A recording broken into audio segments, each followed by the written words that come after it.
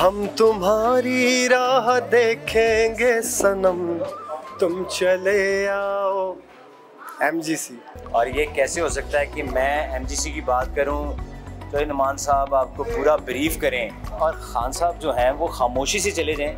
तो ऐसे नहीं हो सकता जिसने धूम मचा रखी है पूरी दुनिया में। इवन के बॉर्डर पार मैं देख रहा हूँ कि मीम्स बन रहे हैं टिकटॉक्स बन रहे हैं, वो है तुम चले आओ पहाड़ों की कसम। वैसे तो मुझे पर्सनली तो वो दूसरा भी पसंद है। लेकिन अब कह रहे हैं तो चलो जो आपका दिल करे।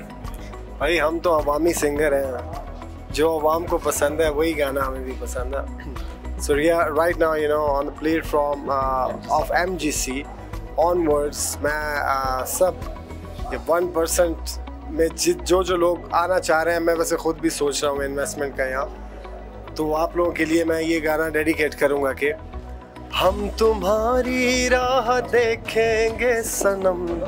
तुम चले आओ। एम जी सी